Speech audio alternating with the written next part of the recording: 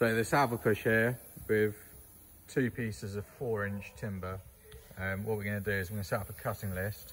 Um, just cut this into several pieces, but we're going to put a defect in one of the bits of timber so you can see how the machine reads the defect um, and works around it using the optimi optimization software. So this is your optimizing data.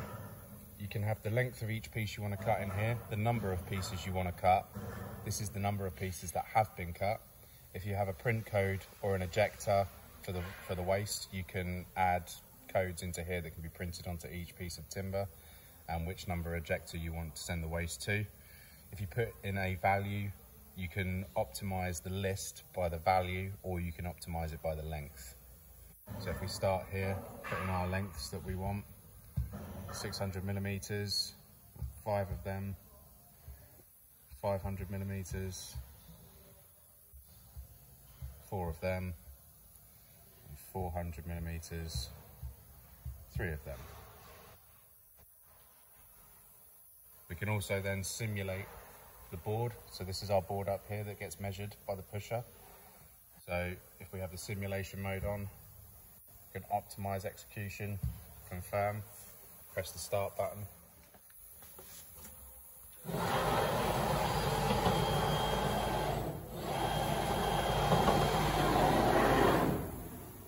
Then tells us up here what we're going to cut out of that board. If you then find any defects in the timber, you can mark them with the fluorescent crayon that comes with it. It will then change the board to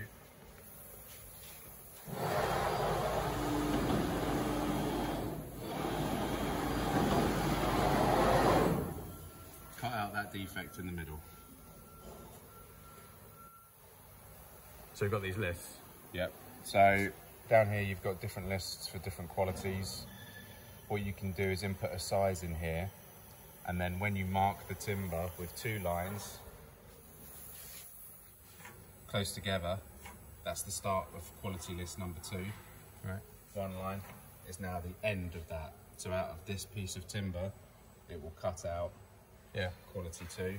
If you have three lines close together, that will be quality list number three.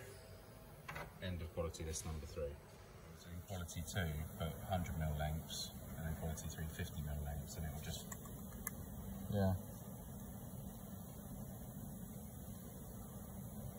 So what are these other functions here on the left? So you've got the optimizing data up here. So this is our list that we're currently in. Down here is the parameters for that list. So you can put the minimum percentage of wastage, where to eject the pieces to, if the waste exceeds a certain size, do a certain thing to it. If you go in here, this is fixed cuts. So this will just cut as many repetitions of whatever length that you want in there without optimizing it through the board. So this will just be in the case if you want one meter lengths and you want 500 of them, regardless of what the board is like, it will cut them. And then this is the parameters for the fixed cuts. So this is the program parameters. So this is everything. So the speed of the pusher, the length of the trim waste, whether you're optimizing it by length or value. You can do macros where you can eliminate the cut if the pieces are less than 250 or greater than 250. So it will join those pieces together. Shattering if the waste exceeds a certain size. So that will break down this 126 mil piece into 50 mil pieces if you wish. Uh, and then all the other system parameters are in here as well. So you can optimize the program best to best suit you. This is if you have ejectors for the waste. This is for when you're cutting sim for, for the cutting simulation. You can mark, you can mark down a fixed size of board, fixed width, and then this is the most recent data for what you've cut. If you press play, this will start. Either you can choose your optimized list or just fixed cut lists. Pause and stop your program, and then this will be going into your simulation mode here where you can set a board size and run a simulation on board that size. This is to turn simula- simulation mode on and off, so you can run the pusher without the saw being started, and this is the menu to turn the machine on and off. Okay, so now we're going to run our optimized list. We're going to start the motors. We'll turn automatic mode on for the gravity feed, so it will continuously run. Start the motors. Press the play button. Start to run the optimized execution.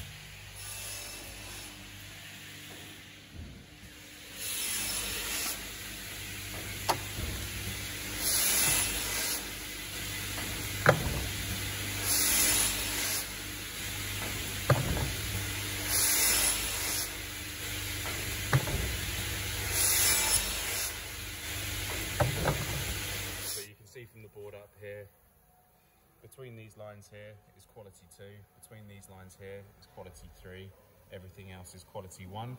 So in our quality 1 list we've got lengths of 600, 500 and 400. There's a 400 piece there, 500 piece there, 5 and 5 there. If I go into quality 2, this was dictated by the fluorescent crayon. So quality 2 was lengths at 100 mil and then quality 3 was lengths of 50 mil. And then anything else that is red here is just marked as waste which couldn't be cut out.